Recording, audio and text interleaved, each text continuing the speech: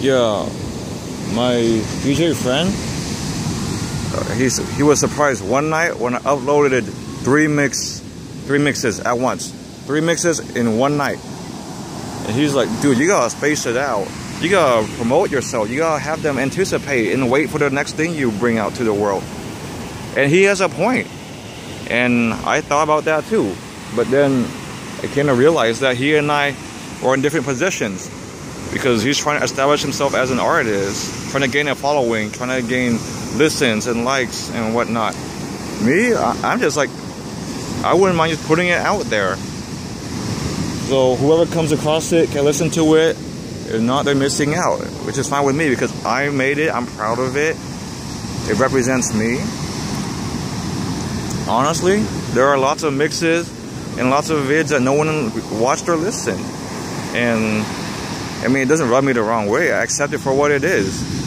Because, hey, I made it, you know? And sometimes I do go back and listen to it.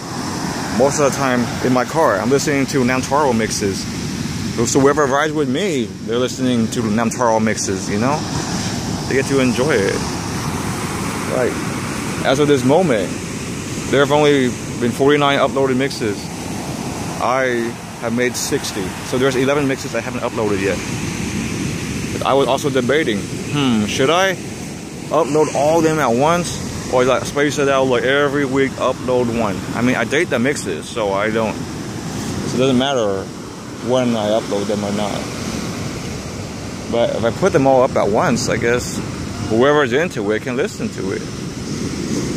And as usual, he says, "Oh, find your sound, like find a sound that you're you identify with." kind of funny because recently I made a mix that was heavily dubstep based, and then another mix was heavily Euro pop, Euro dance based. So it's like fast paced songs, not like the 128 BPM songs. And one song had like half of it was hardstyle. I usually end with a hardstyle song, but this mix like half of it was hardstyle, like snares pounding at you at 140, 150 BPM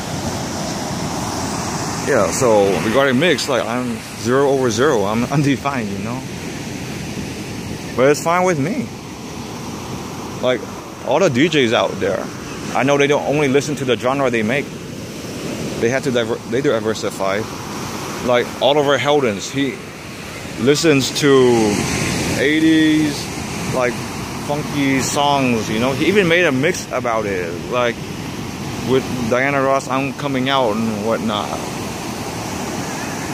because to establish your sound, you have to have a broad musical knowledge.